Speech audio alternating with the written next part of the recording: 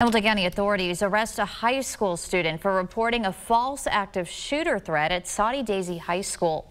That student called in the threat at around 1130. Authorities quickly investigated and determined the threat was false. The teen is charged with misuse of 911 and filing a false report. They've since been taken to the Hamilton County Juvenile Detention Center. No additional information has been released.